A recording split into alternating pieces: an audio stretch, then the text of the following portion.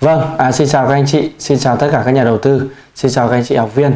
Chúng ta lại tiếp tục gặp nhau trong series video à, chia sẻ những kiến thức về đầu tư tiền kỹ thuật số.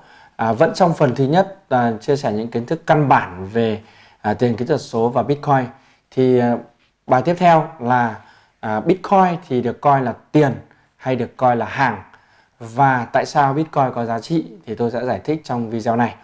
Thì thực tế à, rất nhiều người chúng ta gọi Bitcoin là tiền, là tiền ảo, là tiền kỹ thuật số, là tiền mã hóa, là cryptocurrency bằng tiếng Anh. Và nhưng à, theo luật nha, tôi đang nói là theo luật thì à, theo luật của chính phủ Mỹ, luật liên bang Mỹ đó, Bitcoin lại được xem là một loại hàng hóa. Bitcoin là được xem là hàng hóa nhá. Cho nên chúng ta coi nó là tiền, đấy là do chúng ta coi. Còn à, luật pháp Mỹ thì lại coi nó là hàng hóa cơ bản à, giống như là dầu thô hay lúa mì à, hay như là một cái loại à, à, mã chứng khoán nào đó kiểu như vậy và để quản lý à, cái à, loại hàng hóa đặc biệt có tên là Bitcoin này thì chính phủ cũng đánh thuế những cái giao dịch và à, liên quan đến mua bán trao đổi về Bitcoin đúng không ạ? Thế rồi thì à, à sở thuế của Mỹ à, coi cái việc à, Ờ, đánh thuế đó ờ, như là một cái dạng là giao dịch hàng hóa thông thường. Và tất cả người mua, người chơi rồi sàn đều phải à, trả phí, trả thuế cho cái việc mà à, bạn đã bằng cách nào đó mua được, bằng cách nào đó bán được, bằng cách nào đó sinh lời được à, từ cái giá trị của bitcoin. Và giá trị này thì cũng được tính theo tỷ giá tại thời điểm của người đóng thuế, nhận được cái đồng tiền thuật toán này à, hay gọi là đồng tiền ảo Bitcoin đúng không ạ? Hay là à, đồng tiền hàng hóa hay là hàng hóa Bitcoin. Vâng. Thế thì chúng ta sẽ thấy là nó rất mâu thuẫn. Ở Việt Nam thì chúng ta gọi là tiền ảo rồi tiền kỹ thuật số. Nhưng mà ở bên Mỹ thì người ta lại chính phủ lại cho rằng đấy lại là hàng hóa. Thì thôi ta không tranh luận về việc này nha.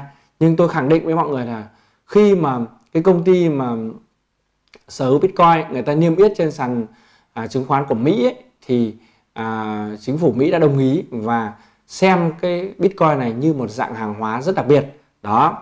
À, và các bạn à, nhớ rằng là ở Mỹ thì mọi thứ à, đều rất là à, tuân thủ pháp luật và cũng như là Nhật Bản. Thì Nhật Bản là quốc gia đầu tiên có pháp lý về à, Bitcoin cũng như là các cái đồng coin đồng tiền kỹ thuật số. À, có bộ khung pháp lý khá là đầy đủ và chính phủ cho phép chính phủ khuyến khích và chính phủ thừa nhận việc chấp nhận thanh toán đồng Bitcoin như một phương pháp thanh toán mang tính quốc gia đó và các cửa hàng cửa hiệu được thoải mái chấp thuận Bitcoin như một phương pháp thanh toán bình thường các ngân hàng cũng chấp nhận bình thường. Đó thì cái việc này à, nó là hàng hóa hay nó là tiền thì à, nó còn phụ thuộc vào quan điểm của chính phủ và luật pháp của chính phủ quốc gia đó đối với loại đồng tiền đó à, và cái quá trình mà các bạn à, mua bán các bạn trao đổi các bạn giao dịch các bạn đào bitcoin được chưa ạ? À, các bạn các bạn được tặng bitcoin thì các bạn đều phải đóng thuế và chính phủ cứ thu thuế bình thường được chưa ạ? Và rất là thú vị đúng không?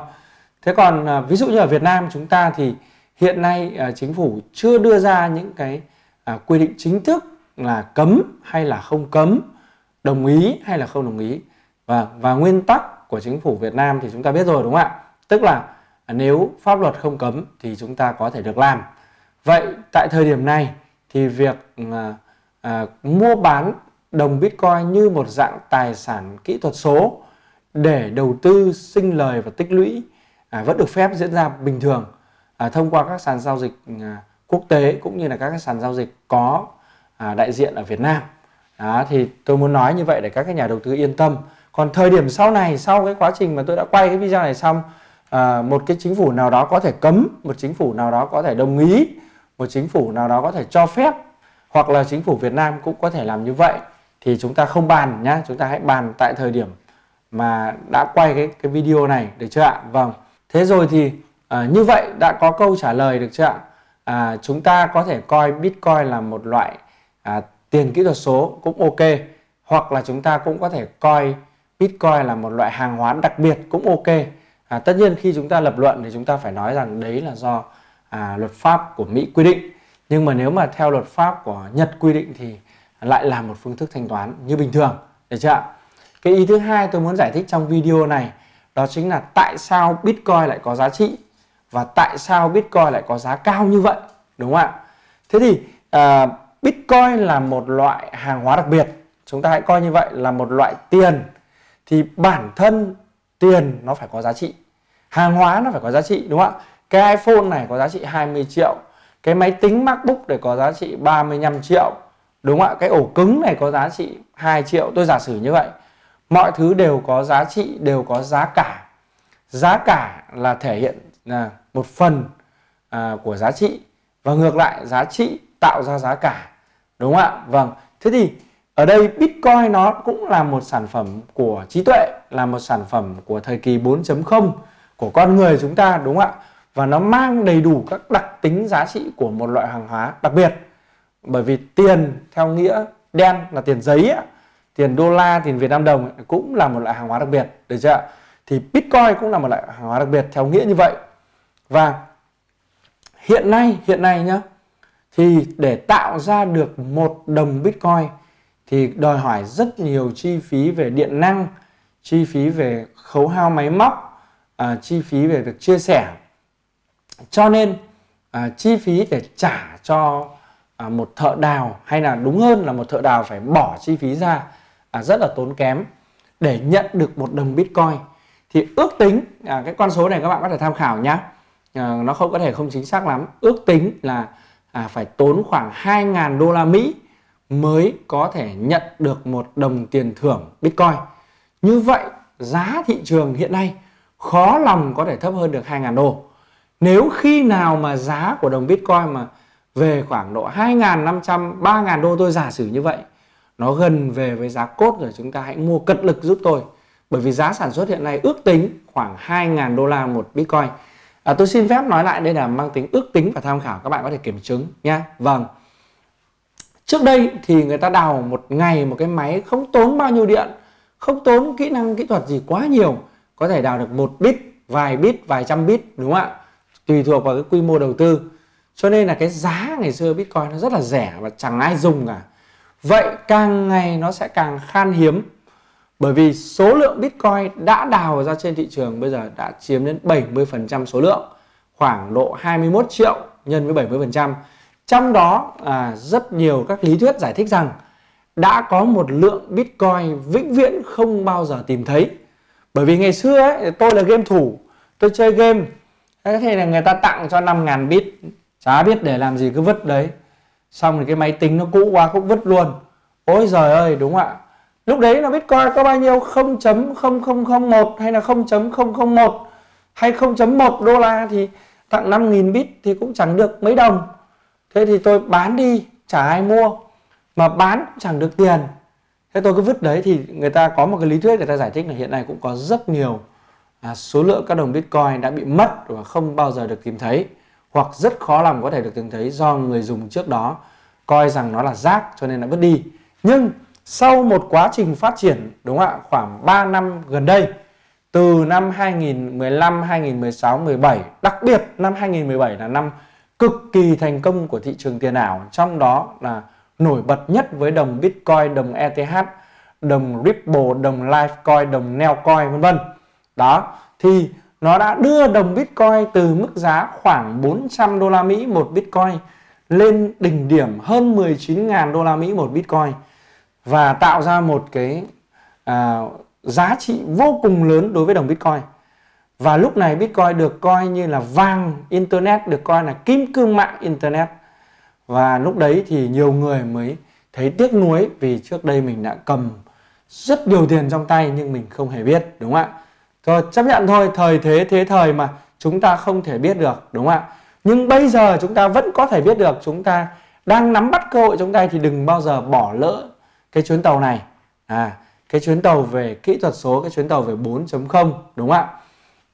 Thế rồi cái quá trình giao dịch Bitcoin à, cũng sẽ tạo ra giá trị và đặc biệt là giá của Bitcoin hiện nay là do thị trường quyết định. Mà thị trường thì bao gồm bên mua, bên bán và bên trung gian. Trung gian đứng giữa tạo uy tín thôi. Bên mua và bên bán, mua thật nhiều, bán thật ít, giá phải cao. Thế thôi. đúng không ạ bán thật nhiều mua thật ít giá sẽ xuống khi nào có thông tin khủng hoảng xảy ra khi nào có thông tin là chính phủ này cấm chính phủ kia cấm vân vân đúng không ạ? Thị trường đi xuống bởi vì người ta sợ người ta bán ra. Nhưng mà chiến tranh à, rồi thì xung đột rồi thì bệnh dịch mọi người sợ giá lại lên người ta lại muốn mua vào. Đó những cái tin tức như vậy đúng không ạ? Vâng. Bitcoin đã thỏa mãn được các nhu cầu của con người như là tạo ra hệ thống được tiền có giá trị kiếm được tiền thanh toán được thanh khoản được chuyển đổi dễ đúng không ạ? Mua hàng hóa được vân vân cho nên nó có giá trị. Đó bản thân nội tại của cái đồng bitcoin này nó có giá trị bởi vì để sản xuất ra được nó đang tốn rất nhiều tiền mất khoảng độ 2.000 đô la như tôi nói đúng không ạ? Còn trước đây thì có khi mất chỉ độ uh, một vài đô thôi là đã có thể kiếm được một vài đồng thậm chí một vài chục đồng luôn đúng không ạ? Nhưng bây giờ thì mất rất nhiều. Đấy thì người ta nói rằng là bitcoin được coi là vàng internet vàng kỹ thuật số nhưng tôi nghĩ vàng không đúng phải là kim cương bitcoin hiện nay như ngày hôm nay tôi quay thì giá khoảng 250 triệu dao động đến 260 triệu. Như vậy một lượng vàng cũng không đến như vậy có đúng không ạ? Vâng đắt hơn nó phải đắt như kim cương luôn. Tôi gọi nó là kim cương internet kim cương trong cái thời đại kỹ thuật số đúng không ạ? Vâng và à, giá của bitcoin thì có xuống tăng à, dựa trên lý thuyết là càng ngày có nhiều người biết về nó nhiều người muốn mua nó, nhiều người muốn sở hữu nó, nhiều người muốn đầu tư nó, thì lượng lại bị giới hạn là 21 triệu không tăng được. Mà trong khi đó đã đào đến 70% rồi mà lại bị mất rất nhiều rồi, đúng không ạ? Bây giờ càng ngày càng đào được ít hơn, tốn nhiều tiền hơn để đào được một đồng. Thế thì giá nó sẽ tăng lên, đúng không ạ? Và nó tăng đến bao nhiêu thì không ai biết trước được. Có người mong muốn nó lên 20.000 có người mong muốn nó lên 35.000 có người mong muốn nó lên 50.000 có người mong muốn nó lên 100.000 đô la. Thậm chí có những cái kịch bản hoang tưởng tới mức là một triệu đô la một bitcoin. Chúng ta cũng không thể biết được, có đúng không ạ? Bởi vì sao? Bởi vì ngày đầu tiên nó có một đô, nó có 0.1 đô, bây giờ nó lên được 10 ngàn thì nó có thể lên được 100 ngàn đô. Cái chuyện đấy cũng có thể xảy ra bởi vì cũng chỉ nhân 10 lần nữa thôi. Đúng không ạ? Nhân 8 lần nữa thôi, nhân 5 lần nữa thôi, chuyện bình thường điều đấy có thể xảy ra. Nhưng khi nào xảy ra thì chúng ta không biết. Sớm một năm muộn 3 năm 2 năm chúng tôi không biết điều đấy. Được chưa ạ? Vâng. Đó là nguyên lý giá trị.